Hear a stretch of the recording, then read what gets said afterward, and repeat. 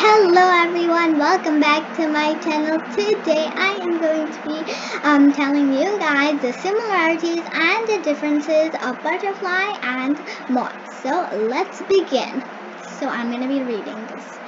Butterflies and moths. Butterflies and moths are beautiful insects. They belong to the same group of insects, which is called Lepidoptera. Like all insects, butterflies and moths have six legs, but unlike other insects, they have scales that cover their wings. Both moths and butterflies have two pairs of wings. That um, that's four wings in all. Butterflies and moths go through four stages of development.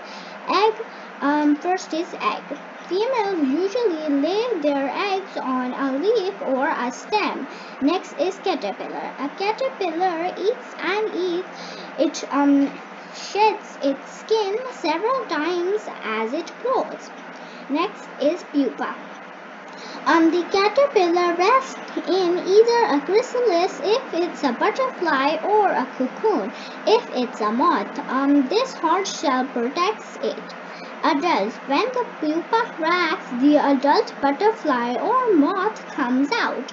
All butterflies and moths undergo, undergo this metamorphosis or um, transformation from egg to adult. Butterflies and moths also differ in several ways. Most, most butterflies have um, slender, um, hairless bodies.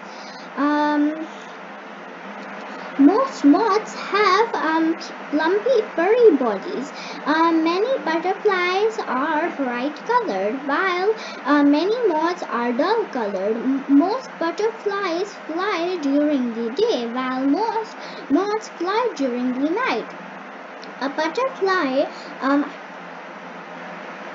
entertained uh, our um, antennas are knobbed at the tip. Uh, moths' antennas are um, plain or um, feathery um, at the tip. Most butterflies hold their wings upright over their backs, while um, but most moths rest their wings um, straight out flat. Um, some some species of moths and butterflies migrate. Um, that means that they make a journey to a new place. Um, one of the most amazing uh, migrations is made by the monarch butterfly, um, which flies south to um, find a new home for the winter. Millions of uh, monarchs fly thousands of miles um, to reach forests of fair trees in Mexico. Um, um, there they rest and um, feed after their long journey. So, next I'm going to right here I'm going to tell you about the butterflies what the butterflies are and then the moths. So and they're the same thing. So um usually moths have dull colors and butterflies have bright colors.